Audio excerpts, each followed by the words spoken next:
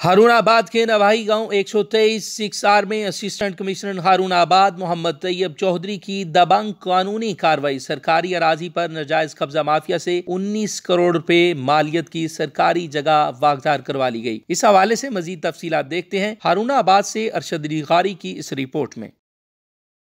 वज़ीर अला पंजाब सरदार उस्मान बुजदार के विजन के मुताबिक और डिप्टी कमिश्नर भावलनगर की हदायत पर ए सी हरुणाबाद मोहम्मद तैयब चौधरी ने जायज़ कब्जा माफिया खिलाफ दबंग कार्रवाई करते हुए हरुणाबाद के नवाई गाँव एक सौ तेईस सिक्स आर में चार एकड़ उन्नीस करोड़ रुपए मालियत की सरकारी जगह वागजार करवा ली। नजायज कब्जा माफिया खिलाफ ऑपरेशन में एसी मोहम्मद तैयब चौधरी और पुलिस की भारी नफरी ने हिस्सा लिया। सरकारी ज़मीन पर लोगों ने कमर्शियल नोयत का कब्जा कर रखा था। इस मौका पर एसी मोहम्मद तैयब चौधरी का कहना था, कब्जा माफिया के खिलाफ ऑपरेशन जारी रहेगा और सरकारी अराजी पर नजायज कब्जे की किसी सूरत इजाज़त नहीं दी जाएगी। आइंदा भी इस माफिया के खिलाफ कार्रवाई की जाएगी और इनको कानूनी कार्रवाई के ज़रिए निशान इबरत बनाया जाएगा। कैमरामैन लाला इकबाल के साथ अरशद अली गौरी हरुणाबाद